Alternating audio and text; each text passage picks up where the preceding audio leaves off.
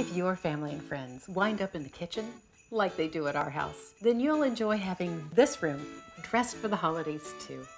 To create this gingerbread theme, start with our gingerbread cloche, layer in illuminated peppermint trees, and fill glass jars with real candy.